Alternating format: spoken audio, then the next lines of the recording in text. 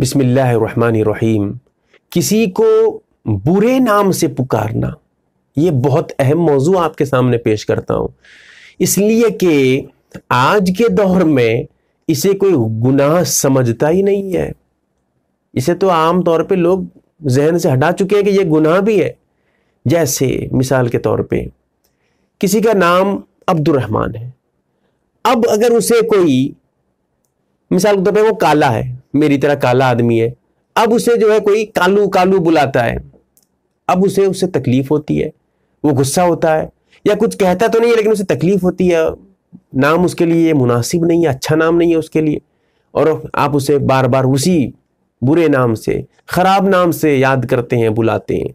याद रखिए, अल्लाह के रसूल सल्लल्लाहु अलैहि वसल्लम ने इरशाद फरमाया, गुनाह कबीरा में से ये भी है किसी को बुरे लकब से पुकारना।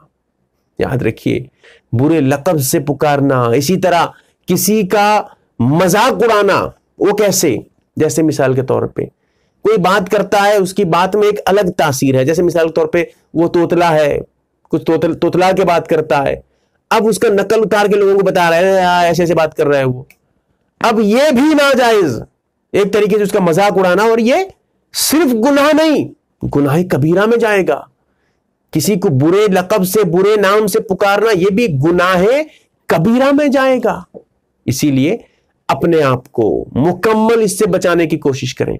होता यह है कि बचपन से ही माँ बाप भी ध्यान नहीं देते हैं। माँ बाप भी ऐसी गलती कर जाते हैं। बच्चे का नाम देखिए एक बहुत अहम जानकारी है। किसी का नाम दस बीस नाम भी रख सकते हैं। अल्लाह के रसूल सल्लल्लाहु अलैहि वसल्लम ने के, कई नाम है। मोहम्मद है, कासिम है, और भी कई नाम है, अहमद है, मुस्तफ़ा है, मुजतबा है, वगैरह वगैरह, कई नाम है। तो इसीलिए आप एक आदमी के कई नाम भी रख सकते हैं, लेकिन नाम अच्छे होने चाहिए, बुरे नाम नहीं।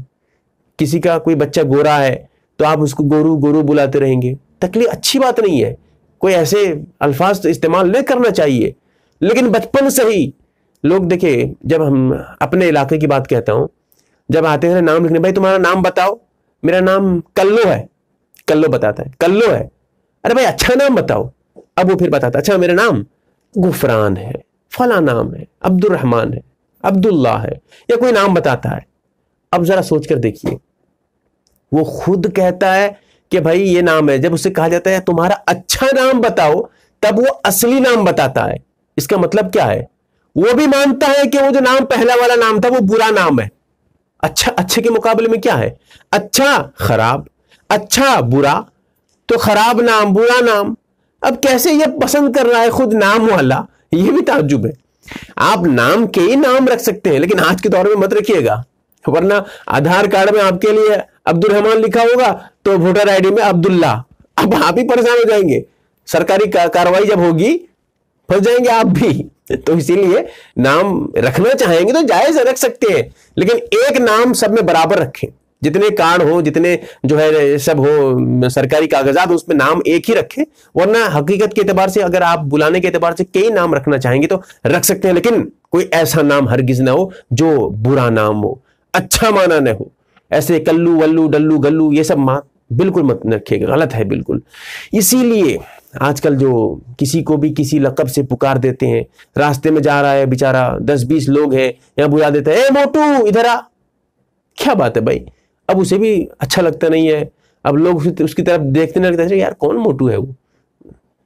सोचिए, अगर आपको कोई ऐसी बुलाए, आपको भी किसी इसी नाम से कोई बुलाए, इसी तरह आपको भी कोई ऐसे सरेआम लोगों के सामने गलत नाम से पुकारे, कैसे लगेगा आपको?